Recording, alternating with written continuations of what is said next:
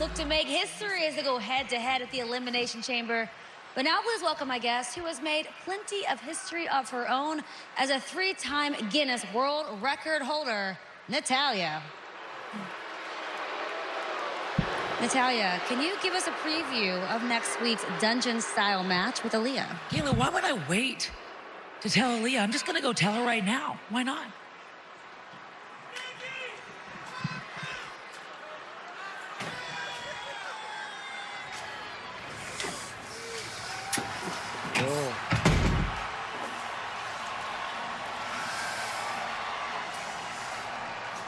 Next week.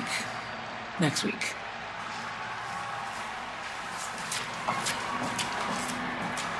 Second thoughts there.